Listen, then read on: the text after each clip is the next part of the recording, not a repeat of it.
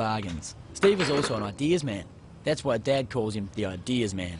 He has lots of ideas. It's a motorcycle helmet with a built-in brake light. You are an ideas man, Steve. Dad thinks all of us are tremendous,